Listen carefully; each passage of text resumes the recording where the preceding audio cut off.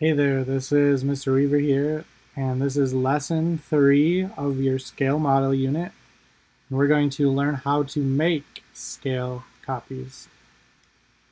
So after this lesson, you need to be able to draw a scale copy of a figure using the scale factor that they give you.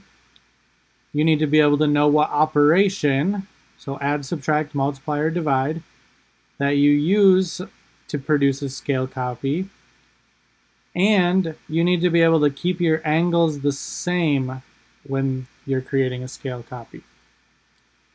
So, you'll know you're successful after this lesson if you can draw an accurate scaled copy and you know that scale copies involve multiplication.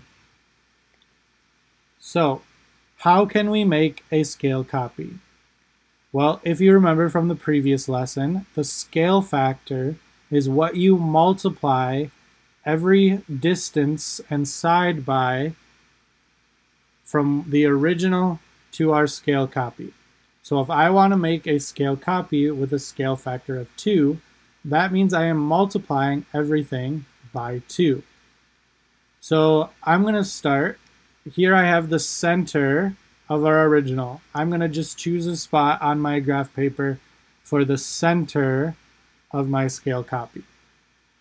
Now, in my original, it is three spaces up. So I drew the same as the original three up. But I need to make it with a scale factor of 2. So I'm going to multiply that by 2, and my scale copy will have a side of 6 going up. The same thing going to the left. Originally it was 3 to the left. Well, if I have to double that, now it's 6 to the left. The angled piece that connects those two, it was 3 diagonals. Now it's 6 diagonals, doubled. I can follow the same process for going down, it was 3, now it's 6. And to the right, it was 3, now it's 6. Everything is doubled. The last diagonal should fit nicely. My original had 3 diagonals, so my scale copy has 6. Everything is doubled. If I were to check my angles, they should all be the same. So in the middle here, I have a right angle okay, going up and to the left, and a right angle going down and to the right, the same as I had before. My corners of my triangles, okay, they perfectly cut across each square.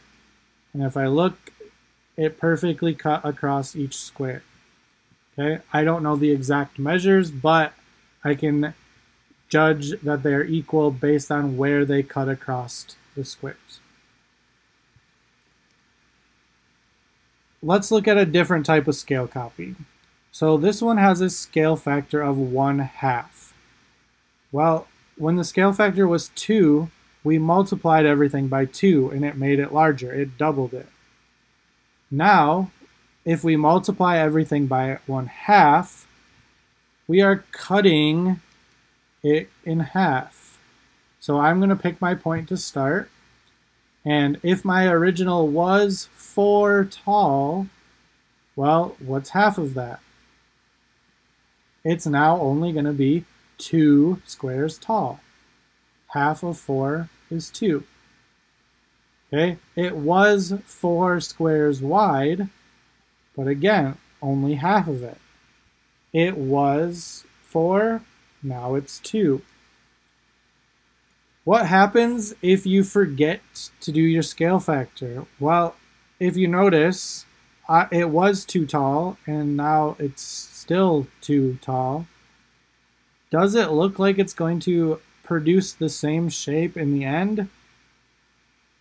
No, I no longer have that diagonal piece. To finish it off, it would be straight across, which is not what we want.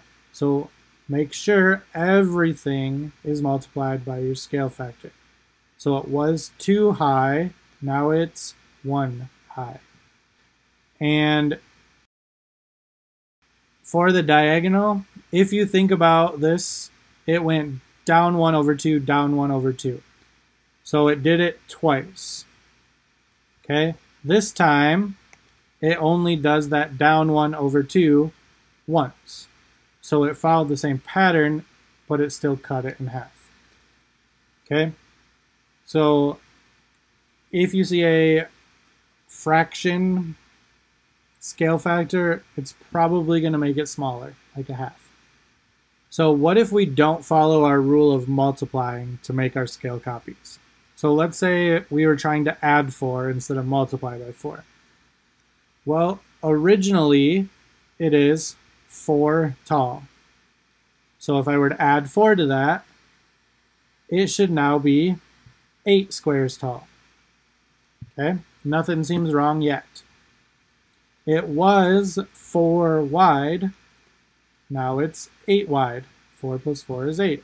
Again, nothing seems wrong yet. Let's look at our next one. We had two squares going up. Well, adding 4 would now make it so we need 6 squares going up. Okay, now how do we connect that last diagonal piece? Well, remember, we have to have the same angles. Okay, so this one had the, it cut across two squares, down one over two, going from corner to corner. So we need to follow that same angle pattern. That was our original angle pattern.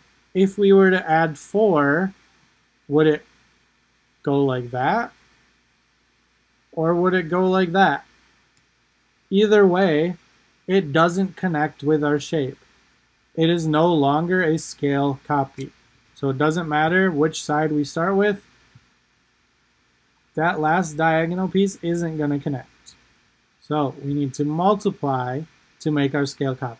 Adding or subtracting, those things are not going to work.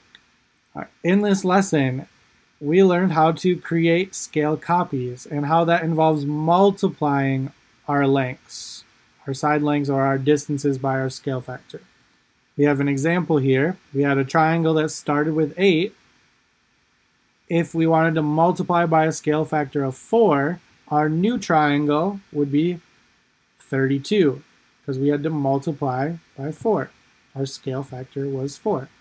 After this lesson, do you know how to draw a scale copy based on the given scale factor? And do you know what operation you need to use to create your scale copy? And that is it for lesson three on making scale copies.